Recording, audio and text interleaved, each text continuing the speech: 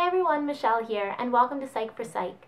Today we're going to step in the shoes of a biological psychologist to learn more about neural processing, the basis of which is the neuron.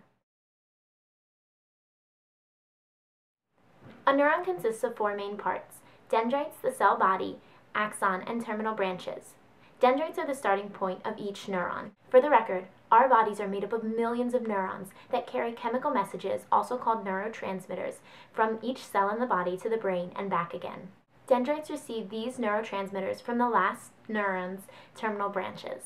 The message is then passed to the cell body where it's processed. The cell body then carries the information, now in the form of an electrical charge, to the axon. The axon is a long cord-like part of the neuron. Around the outside, it's wrapped in something known as the myelin sheath.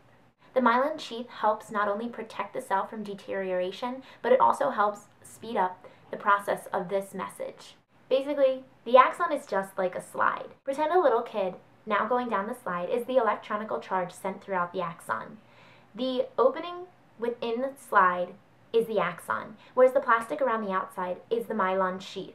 Each action has a threshold for response, which means you need X amount of charges in order to get an action. This might be a physical reaction, such as your arm pushing you down the slide, or it might be simply to carry the message on to the next neuron. At the end of the axon, the charge hits the terminal branches and is changed from the electronical charge to neurotransmitters. Now comes the jump from the terminal branches of one neuron to the dendrite of another over an area known as a synapse. The neurotransmitters bind to receptor sites on the next neuron's dendrite and then in a process known as reuptake, return to the former neuron. If all's good and well, this process will occur with the next neuron.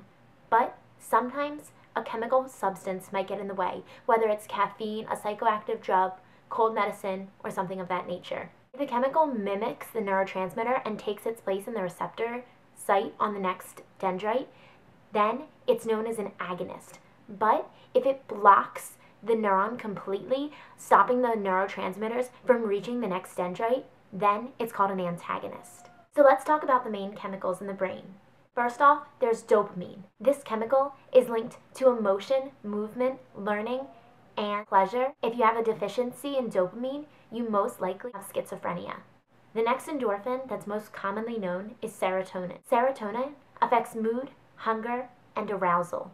If you have a deficiency in serotonin, you may suffer from depression or an eating disorder. Acetylcholine is another chemical that allows for learning, muscle movement, and memory. When the neurons that produce this chemical deteriorate, then you have Alzheimer's. Now, all these neurons are connected within the body. They might be sensory neurons, which connect organs to the brain, or motor neurons, which connect tissue to the brain, or it may be an interneuron, which connects the motor and sensory neurons. That's all we have time for today. Thanks for watching. Please comment, rate, subscribe, and look out for the next biological psychology video. Bye!